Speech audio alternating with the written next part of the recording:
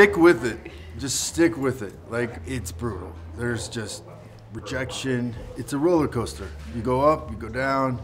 You know, you get hot, you get cold, and you just stick with it and be true to yourself. It's sort of like a manufactured experience. You, there's cameras, but then if you can then get real and find those moments of truth. Telling the truth is the most important thing.